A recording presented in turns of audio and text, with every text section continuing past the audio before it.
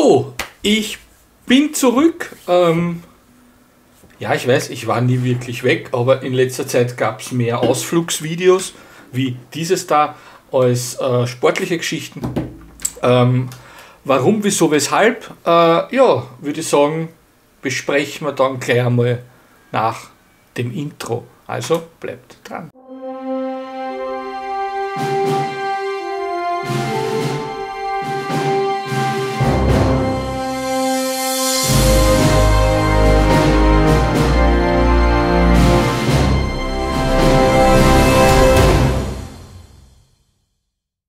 Ja, wie fängt man das am besten an? Ähm, woran liegt es, dass ich in den letzten Wochen, Monaten sportlich eigentlich so gut wie gar nicht aktiv war? Äh, wie man weiß, habe ich mich ja im, im Mai erst einmal verletzt, dann war eine kurze Pause. Das ist okay. Ähm, es hat ein bisschen gedauert, das war dann ausgeheilt. Äh, ja, aktuell, es plagen mich zwar ein bisschen die Achillessehnen, aber das ist jetzt nichts äh, Tragisches, also nichts, wo ich sage, da kann man nicht drüber stehen. Ähm, und das Fitnesscenter wäre eigentlich immer gegangen. Ähm, liegt es am Zeitmanagement?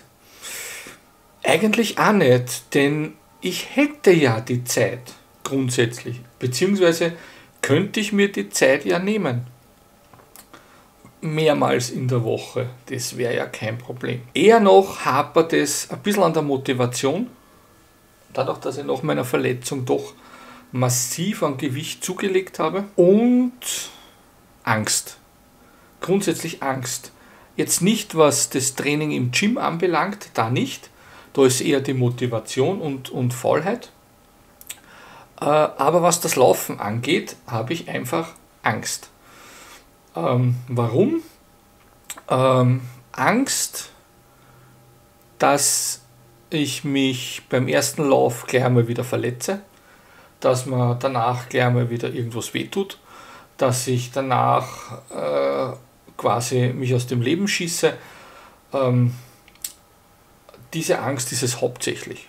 Das muss ich schon sagen ich muss sagen, es ist eigentlich alles vorbereitet. Es ist, ich weiß, wie es ablaufen soll, mein erster Lauf. Ich weiß ungefähr, wie lang er werden soll, sollte. Ähm, ich weiß, wo der Weg hingehen soll äh, und so weiter. Also das ist alles bekannt und ich weiß auch, wie es geht. Ich habe nicht nur einmal aussetzen müssen in den letzten Jahren, sondern verletzungsbedingt war das hin und wieder schon mal der Fall und bin jedes Mal wieder reingekommen und habe es jedes Mal wieder mal quasi zurückgeschafft. Und ja, ich will ja auch. Aber irgendwie, irgendwas ist in mir, das sagt, Puh, und findet tatsächlich jedes Mal, wirklich jedes Mal einen Grund, dass ich nicht laufen gehe. Äh, ein kleines, kleines Beispiel. Ähm, aktuell ist es relativ heiß, auch in der Nacht. Ähm, und ich habe da oft Probleme nicht, aber ich schlafe relativ spät ein, wann ich mal schlafe, schlafe. Aber bis ich einmal eingeschlafen bin, ja, äh, dauert es halt.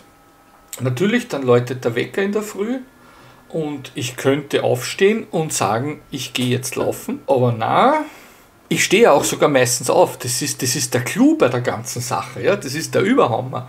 Ich stehe meistens auf, mache mach Standard-Morgenroutine, dass ich sage, ich, ich, ich versorge meine Katzen ja, und, und, und gehe aufs weiße Porzellanpferd, äh, stelle mich auf die Waage, trinke was in der Früh und, und denke mir, so, du könntest dich jetzt anziehen und es wären ja nur 20 Minuten.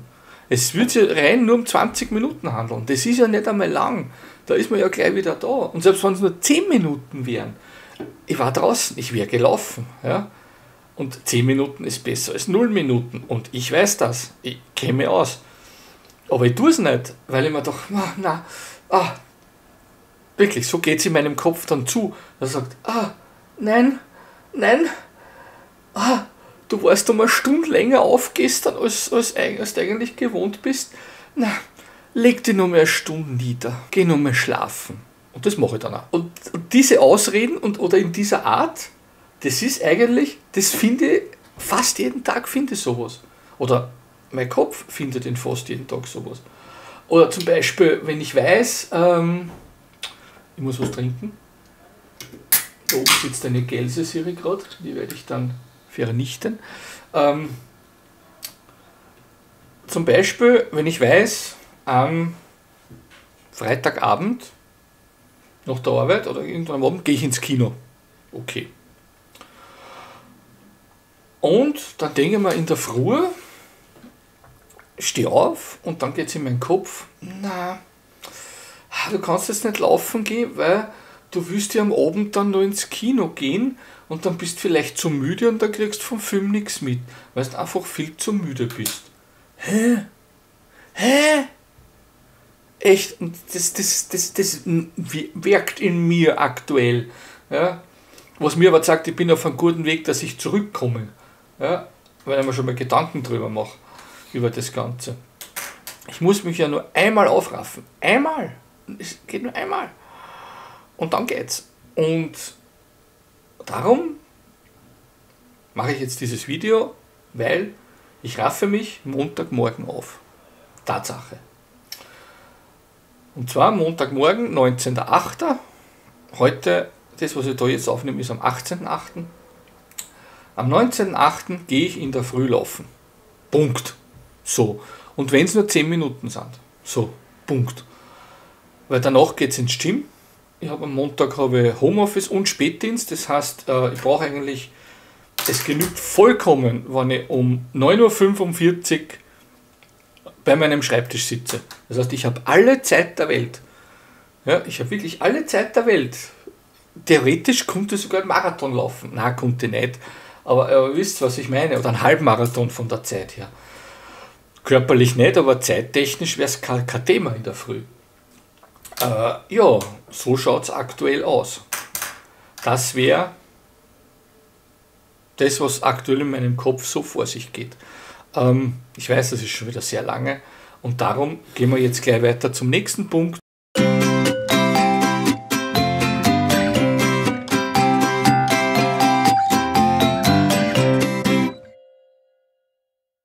Ja, wie sieht meine ähm, ich nenne es einmal grobe Vorabplanung äh, einmal aus. Angedacht ist ja natürlich dann nächstes Jahr im März, März der Wien-Marathon, den Halbmarathon. Angemeldet bin ich ja schon.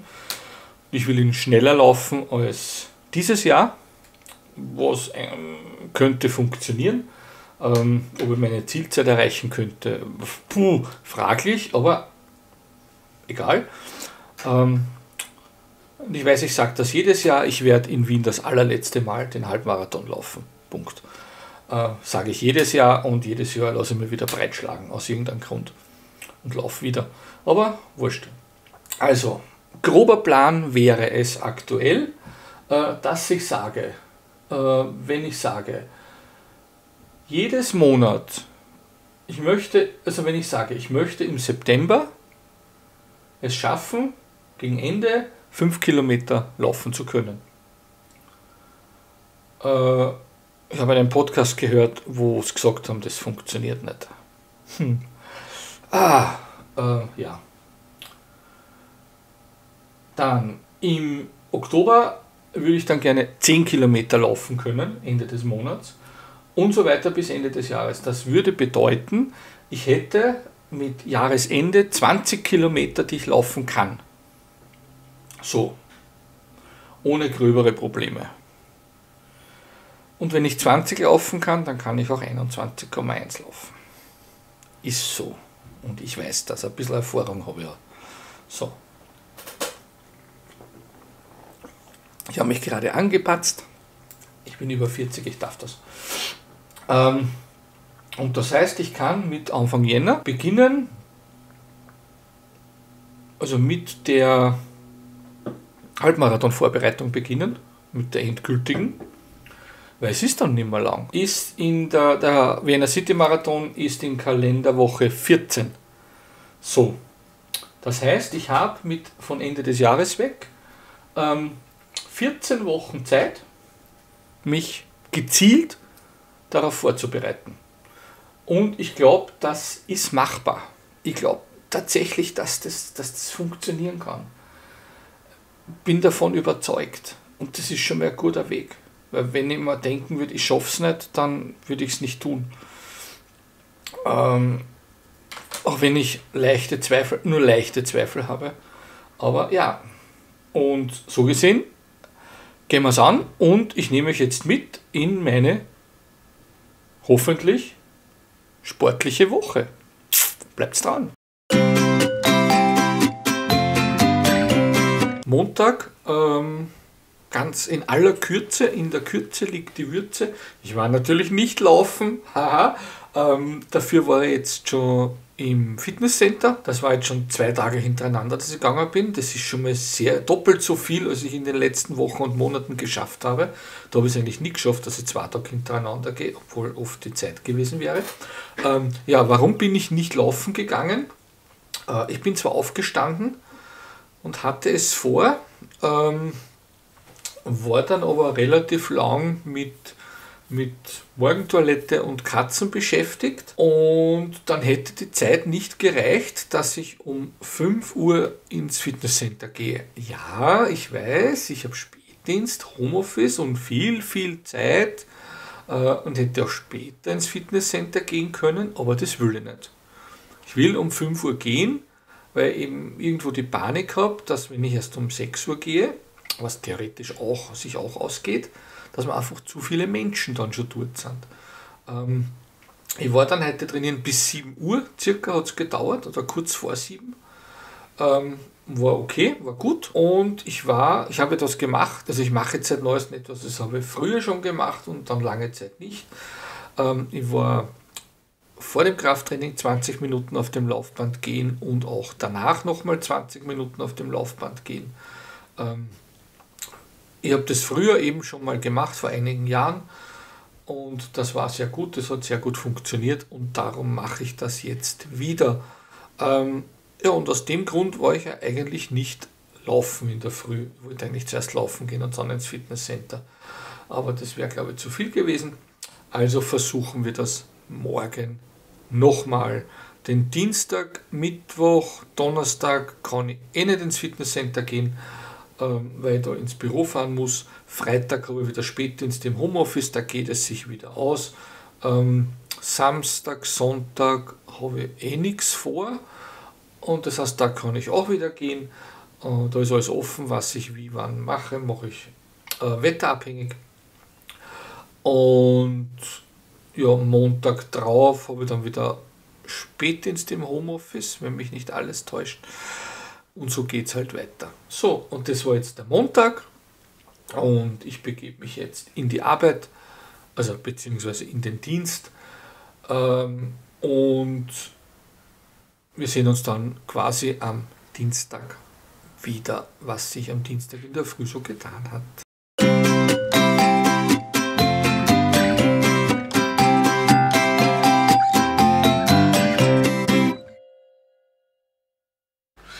Sudele, Sonntag, morgen, Vormittag. Vormittag, es ist kurz nach neun. Ähm, ja, ich sitze da gerade bei meinem Frühstück mit Eier, Käse, Speck, Paradeiser. Äh, Gebäck liegt nur da drüben, das Semmel. Ähm, das habe ich mir heute verdient, ähm, weil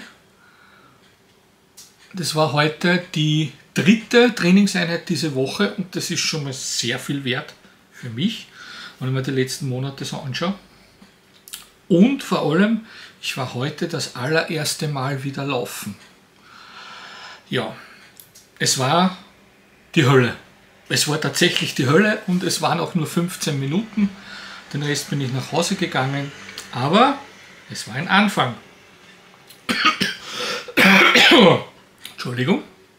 Ähm, gestern wollte ich eigentlich ins Fitnesscenter gehen, aber die hatten ein technisches Problem um 5 Uhr früh und es war kein Licht. Also bin ich wieder heimgegangen. Ja, ich hätte später gehen können, aber da war ich dann wieder zu voll. So, das war heute anders. Freitag war übrigens auch und Montag. So. Ähm, heute war das anders. Ich bin heute zuerst laufen gegangen, dann war ich duschen, dann bin ich noch kurz zu Atem gekommen und dann ähm, bin ich trainieren gegangen. Speck, ist gut. Zwar nicht gesund, aber gut. Ähm, Training war gut. Wieder mit 20 Minuten am Laufband gehen. Dann das Krafttraining und dann nochmal 20 Minuten am Laufband gehen. Also, und darum habe ich mir das auch heute verdient. Ich mal ein kurzes YouTube-Video von zwei Stunden, fast drei. Und ja, es war im Großen und Ganzen diese Woche. Und ich kann sagen, es geht tatsächlich aufwärts. Es geht wirklich aufwärts. Auch mit der Motivation geht es aufwärts. Und darum war der Lauf heute sehr, sehr, sehr, sehr, sehr wichtig für mich. Einfach dieses, zieh dich an, geh raus und mach überhaupt ein paar Laufschritte. Kann ich an jeden nur raten, der so einer Pause drinnen ist. Wenn es nur ein paar Minuten sind. Es wird eh mehr. Und darum werde ich das Ganze versuchen, morgen zu wiederholen. Morgen bin ich aber ein bisschen mehr im Zeitdruck als heute. Aber schauen wir, wie es morgen wird. Fitnesscenter morgen definitiv ja. Das auf jeden Fall. Mit dem Laufen. Ich versuche 20 Minuten. Ja. Und wir werden sehen, aber das werdet ihr dann beim nächsten Video sehen. Nicht mehr in diesem und somit bleibt mir gewogen und ich genieße jetzt mein Frühstück und wir sehen uns demnächst wieder, denn der Runde rollt wieder. Yeah!